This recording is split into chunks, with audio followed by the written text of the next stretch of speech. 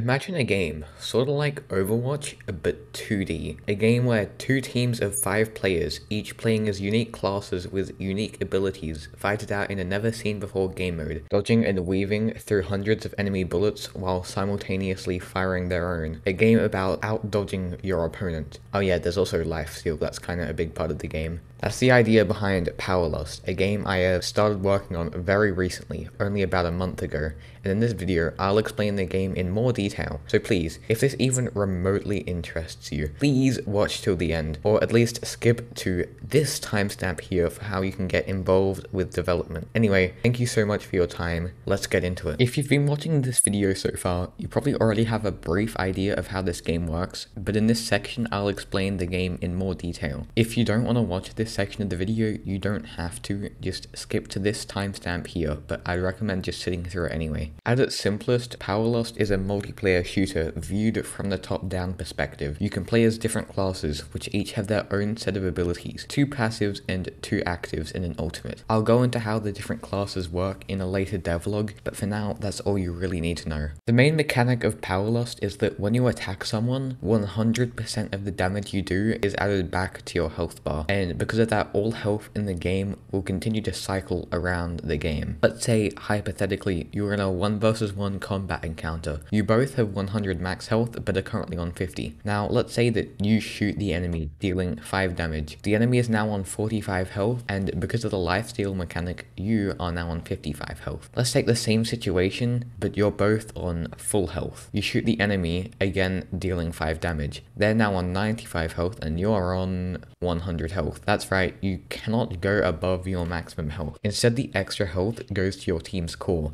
which is basically just a giant battery. It stores all excess health and also allows you to take health from it when you need it, like when respawning or healing. Hopefully this explanation has helped you understand my game a bit more, but if it hasn't, you can always just go and ask in the comments, I'll most likely be able to respond.